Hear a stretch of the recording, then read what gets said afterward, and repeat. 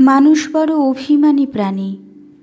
সে চায় তার মন খারাপ হলে প্রিয় মানুষটাকে না বললেও সে বুঝে ফেলুক। ফোন করে খানিক ম্লান গলায় হ্যালো বলতেই ওপারের মানুষটা বলুক, তোমার মন খারাপ? তার এলোমেলো চুল খানিকটা লাল চোখ দেখে বলুক, তোমার ঘুম হয়নি রাতে? দুঃস্বপ্ন দেখেছ?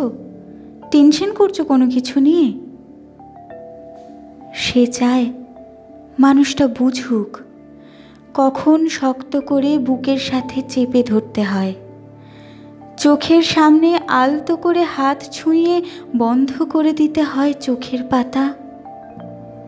সে চায় মানুষটা বুঝুক, কখন হাতের মুঠোয় হাত রাখতে হয়।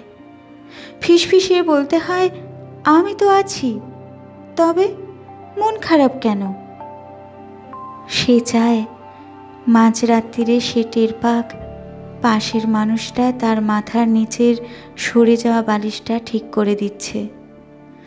শেষ রাতে যখন খানিকটা হিম নামে, তখন জড়িয়ে দিচ্ছে ওম চাদরে।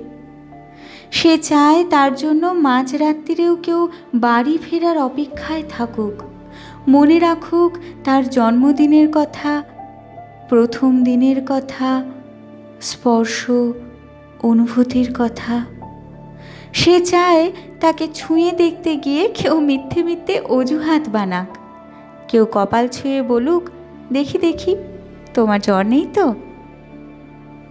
অভিমানে দূরে সরে যেতে চাইতেই কেউ বলুক, খানিক ভুল করেছি বলেই দূরে সরে যেতে হবে? তবে এই যে এত ভালোবাসি, তাতে আরও কাছে আসা যায় না?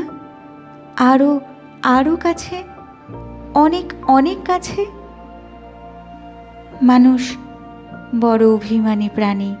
তারা দুজনেই কেবল ভাবে, এই সবই ওই মানুষটা করুক, ওই অন্য মানুষটা। কিন্তু শেষমেশ করা হয় না কারোরই।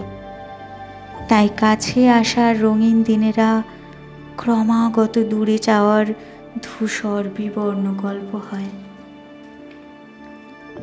মানুষ বড় অভিমানী প্রাণী।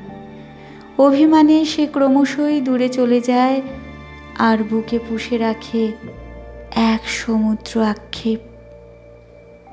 মানুষ বড় অভিমানী প্রাণী।